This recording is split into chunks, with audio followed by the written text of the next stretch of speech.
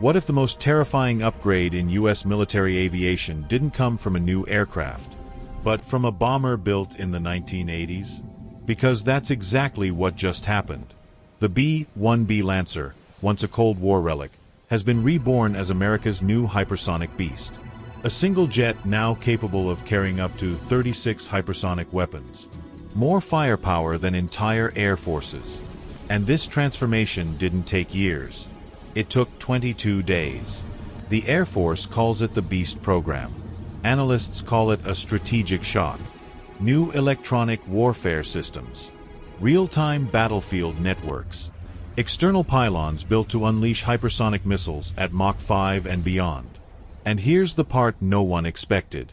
This upgrade is already being tested for full operational deployment. A bomber first flown in the Reagan era, now becoming the deadliest hypersonic platform on the planet.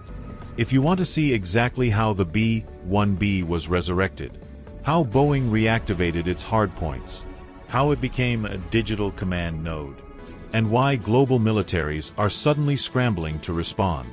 Watch the full breakdown on my channel. Trust me, you've never seen the Lancer like this.